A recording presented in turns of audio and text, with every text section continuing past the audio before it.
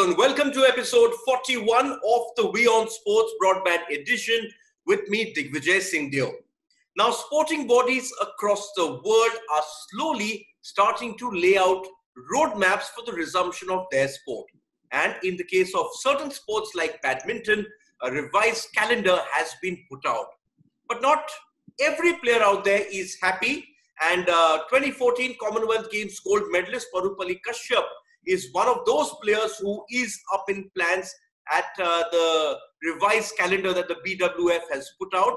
Kashyap now joins me from Hyderabad. Kashyap, thank you for joining me. How have you been? It's been a long time since we've actually uh, met, and now even you know it's it's more of a virtual meeting than a physical meeting. Yeah, it's been it's been very long. Um, um, yeah, um, just just hanging on there, trying to uh, you know stay healthy and uh, waiting for uh, something to come up, like so say our training sessions to start. So uh, I, I've heard uh, all around India, different places, training sessions have started. So waiting for it to start in Hyderabad.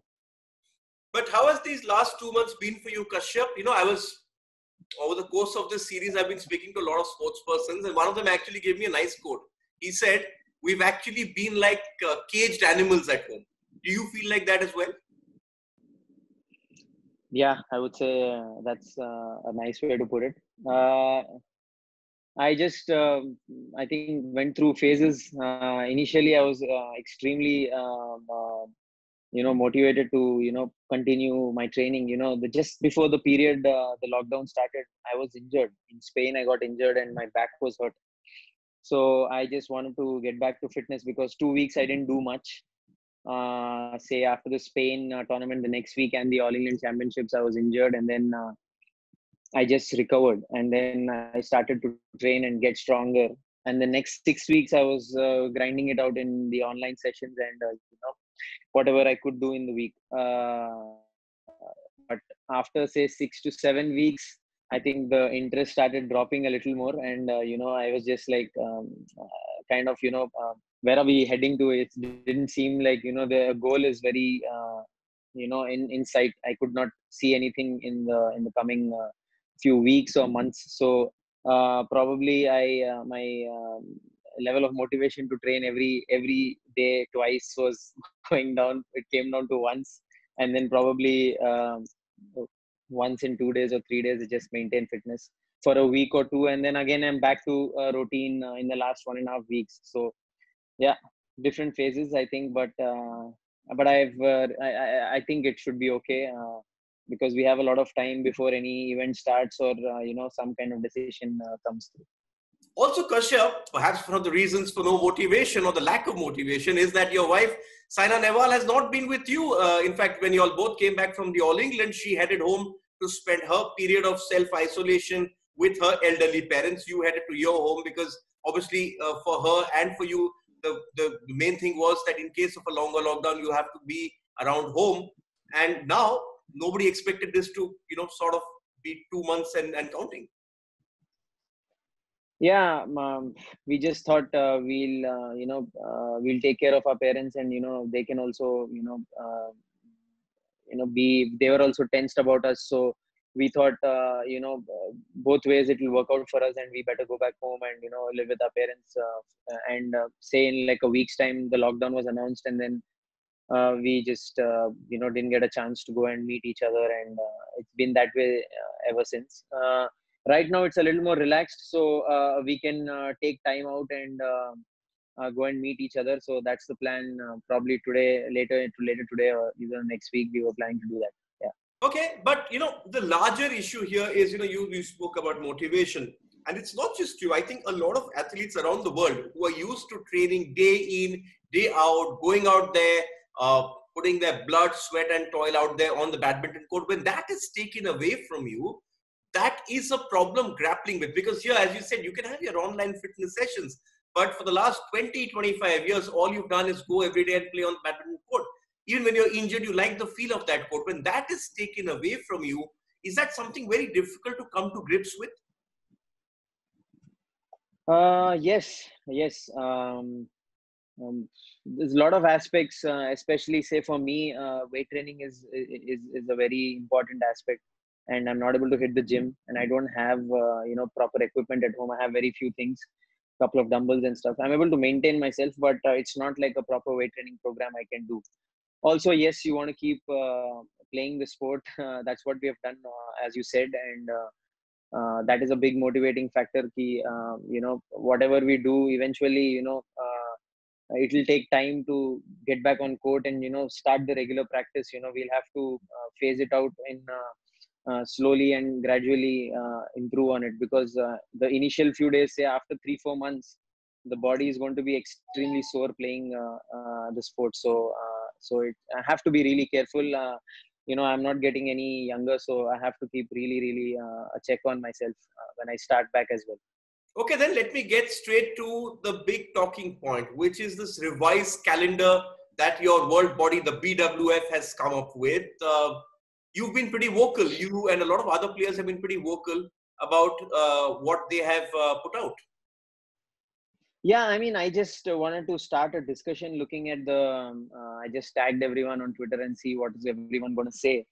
Uh, um, no one's replied yet. I mean a couple of a few of us indians have done it but i tagged a couple of danes and uh, carolina and i was expecting a reply from them but uh, yeah so uh, it, it's a tight uh, schedule and say 22 tournaments are there it's not like I'm going to play 22 events, but uh, to pick and choose, say if I play 11 or 10 of them as well, the travel is extremely hectic.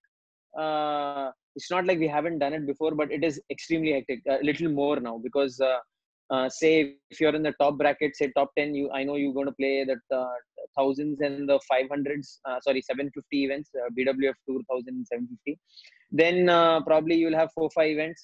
Um, but uh, say if you are in the next bracket from 15 to 30 35 then you also will be thinking of making it to the 300s and the 500s and then you are in a uh, you're, you're stuck a little bit because if you decide to play say 10 to 11 um, in those uh, in that schedule then it looks really really tough to plan because you have one tournament and then you have two weeks rest and then you have three on the trot and then you have a week's rest and then you have five on the trot. So this looks really really tough.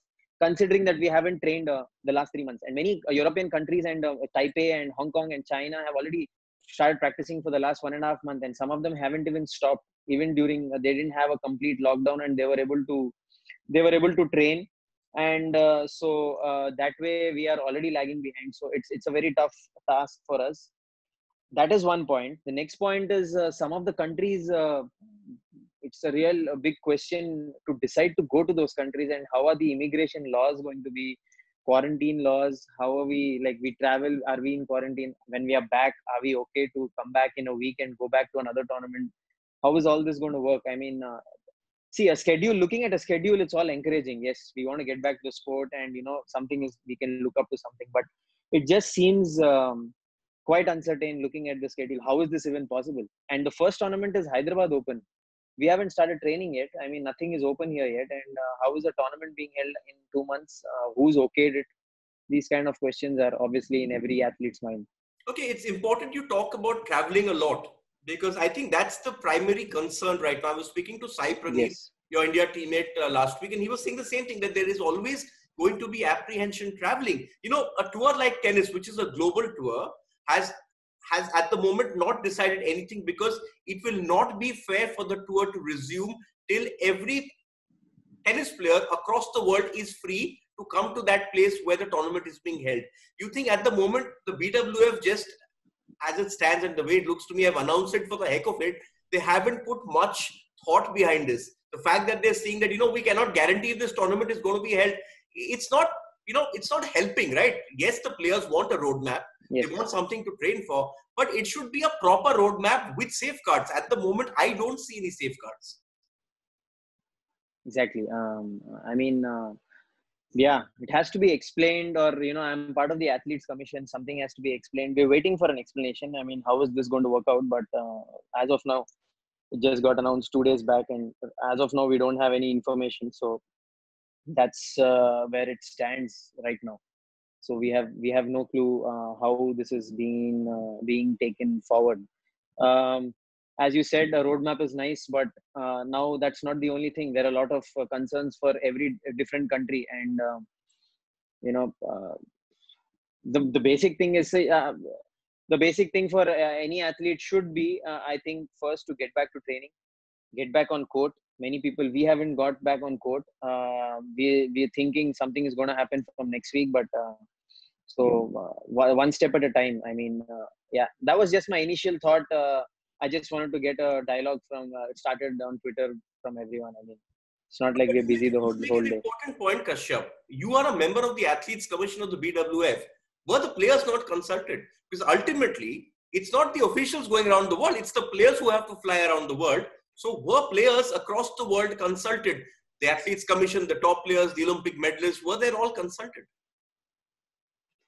Uh, no, doesn't look uh, like it has been uh, the case.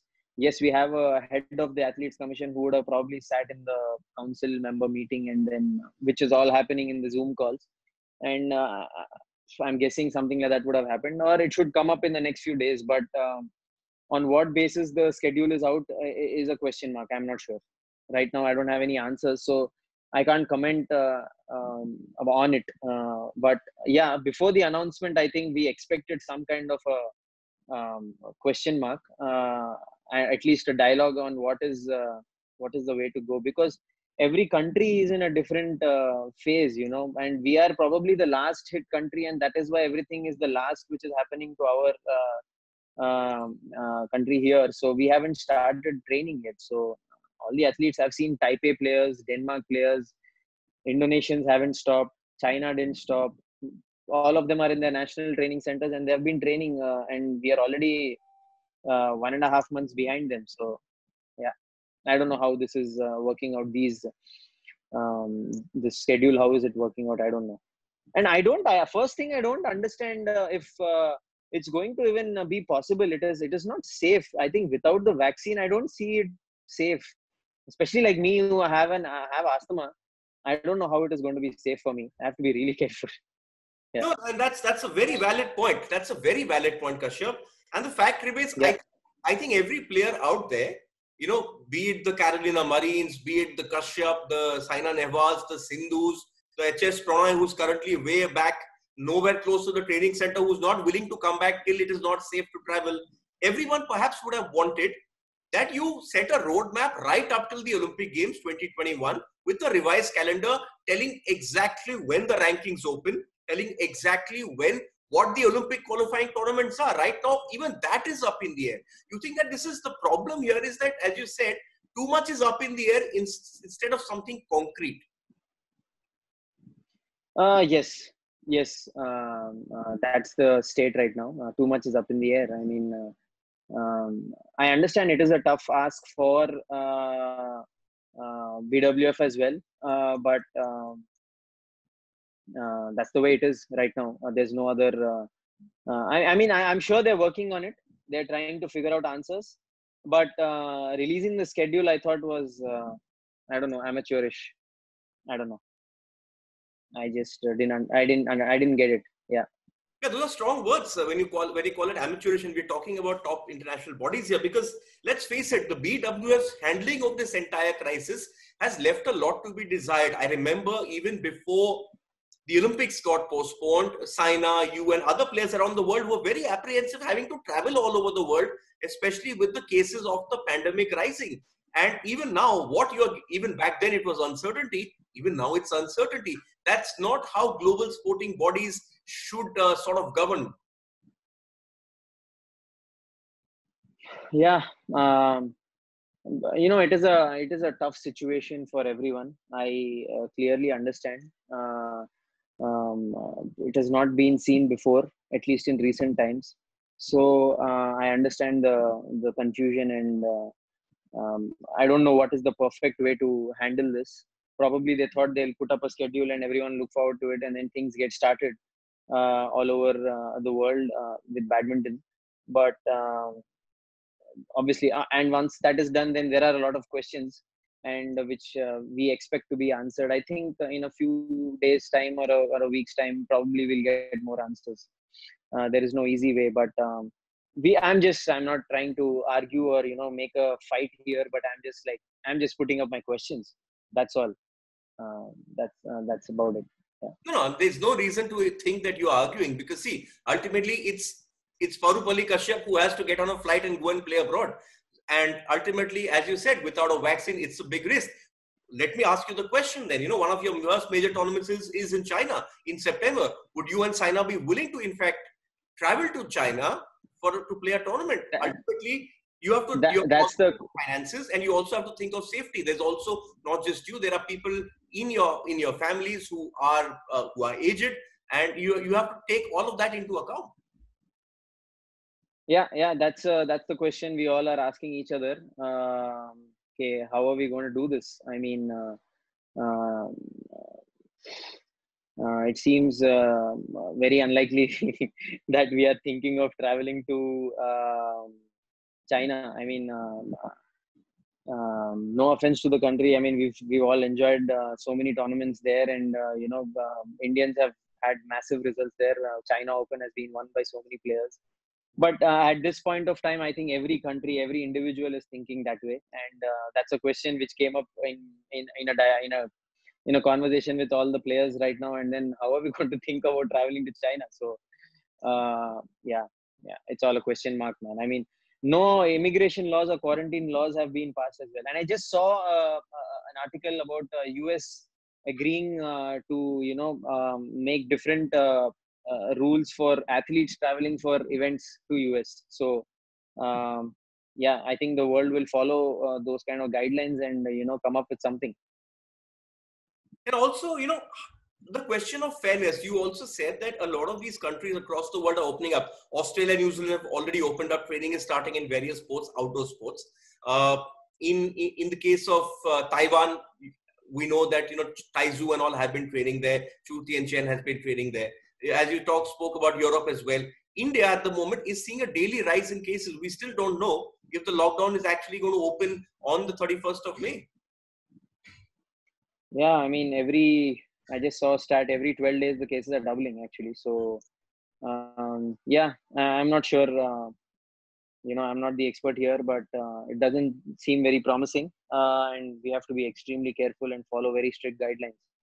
So i was speaking to sai praneeth last week and i asked him how long will it take for him to get ready for competition.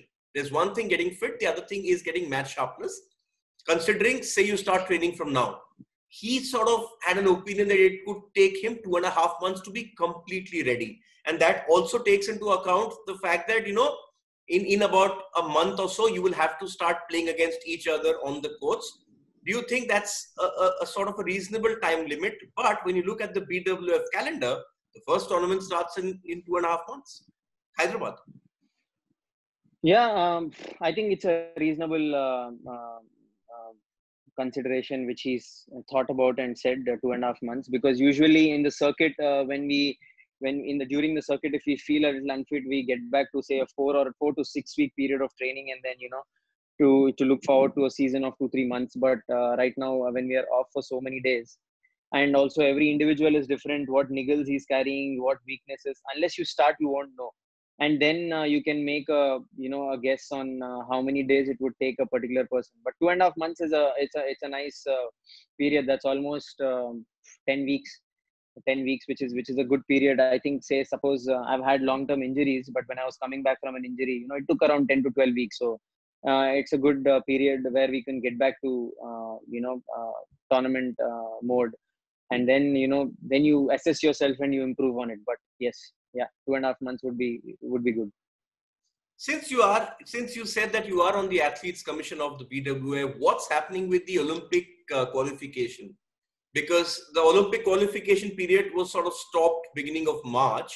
Still have about yeah. 8 to 10 weeks left. All these tournaments have yeah. come. You know, all these tournaments some of them like the india open which were part of the original olympic qualification calendar all that have been rescheduled till the end of this year in certain cases but that Olympic qualification criteria, which is is missing, which is a lot of players, including the likes of Saina Nehwal, including you, perhaps even Srikanth, you all need that clarity to pick and choose tournaments, whether to go full throttle right now or to wait till you know till you have a clear idea. You think that is something the bwf at, as a prior, priority needs to come out with first?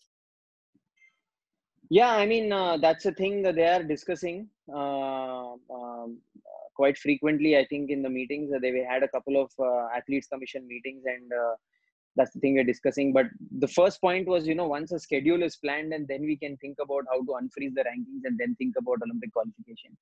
Uh, probably you know there is an option of uh, you know getting back uh, um, uh, to a um, uh, to a plan where you know where it was left off this year uh, at the at the start.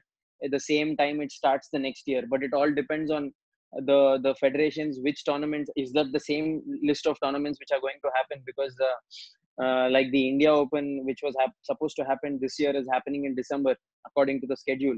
So what happens is that a qualification uh, tournament or not? These kind of things haven't been uh, said out yet. I'm sure in a couple of weeks um, we'll know better. We'll know more uh, things about this uh, this this topic. So um, yeah, yeah, um, you're exactly right. We need to know uh, about what what how do we plan and you know where do we push and you know Eh, eh, we just can't um, just play tournaments at random you know we'll have to have a plan. So i think in the coming weeks i think bwf understands this and they will they will come up with something. Yeah.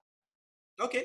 But i think the, the problem right now is kashyap talking to you we're all hoping that you know in the next two or three weeks the bwf comes up with plans you would expect sporting yes. bodies to actually come out with much more concrete plans uh, talking exactly. about talking about that's why i said uh, amateurish yeah yeah talking about concrete plans, uh, India, the Sports Authority of India, has sort of announced uh, SOPs for the gradual resumption of sport.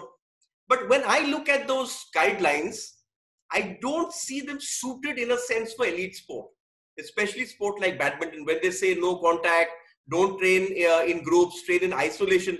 We all know that when you're looking at high performance sport, all that is very, very difficult to do it on your own you have to have at least four or five people around you, Kashyap.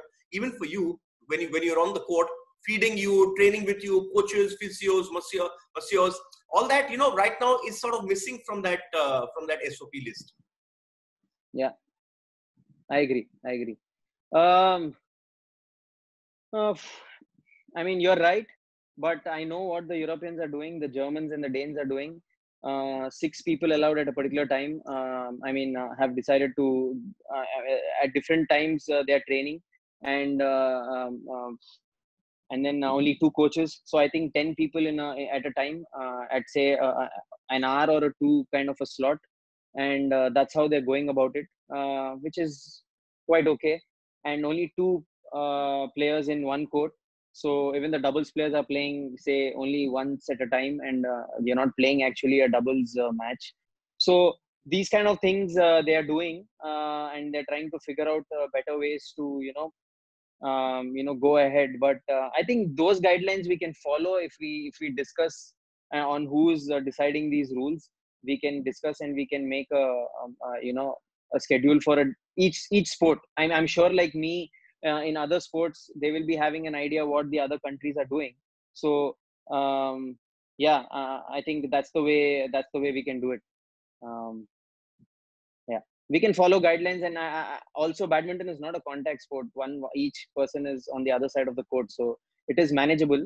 But uh, for me to say it's easy but the person who is actually uh, in charge of that center uh, or the national training center they have to be extremely careful and cautious uh, on what everyone is doing and how they are uh, you know going about it. Yeah. But kashyap with all these restrictions in place to begin training do you think it will it will sort of affect skill levels? For sure uh, it will affect skill levels uh, but uh, you know not playing at all to playing a little bit you know would be better. So uh, you know something's better than nothing kind of a concept. So um, um, it will it will especially if doubles players are not allowed to play doubles then obviously it affects them. And singles players probably we can do just few routines uh, together. And uh, say we usually do one against twos one against threes. If that is not possible then we'll have to play one versus one the whole time uh, which is still okay. I mean something to start. And um, uh, which is okay. Yeah yeah so perhaps the need of the hour is uh, much more detailed SOPs, and so that we don't have this trial and error process, uh, not just in India but also abroad. I think every sport is sort of soul searching at the moment because this way we sort of knew sport Kashyap, the way I've covered you all these years, or the way we've sort of seen sport play out at at international level at the right at the top, you know, the peak peak elite sport. That's probably not going to be something we can see uh, for the time being. Even cricket or football at the moment, which have sort of come up with guidelines. The Bundesliga, somebody scores a goal and you know nobody's celebrating. In cricket, they're saying that you know there's going to be no body contact. So it's perhaps the DNA of the sport at the moment is going to change various sports across the world. But I think more importantly, what is needed is clarity. Athletes like you need clarity. And if you don't get clarity, it leads to much more confusion. I think we, I think our athletes across the world deserve a bit better because they've had their sort of dreams knocked away from them, especially with the Olympics getting postponed. Many players are, are struggling financially because they are professional players and that's not happening. So Thank you so much for your time. Hopefully, the global bodies are listening and should consult the athletes. I think that's very important at the moment consultation with the athletes. Yes, yes, I agree with what you've said just now. Um, we can have a dialogue on how to start up things uh, locally uh, because every sport, uh, only those athletes who are playing would know exactly how we could, you know, progress, especially say the top players and the most experienced ones can uh, have a chat with uh, the uh, authorities who are going to you know you know make the rules and we can come up with something which is which is which is manageable which is manageable for now. Um, exactly you're exactly right. And also with the tournaments and with all these things a little more guidelines on whether we can travel to these countries you know it's not about me deciding whether i have to go to china. It's also knowing if am i allowed to do that first of all. Uh, so these kind of things are not sure and uh, so uh, so yeah. Very specific guidelines for each sport um, is required which is tough in this environment. I'm not saying it's the easiest thing but uh, something has to get started. Yeah. Kashyap thank you so much for your time and uh, hopefully you're reunited with family as soon as possible thank you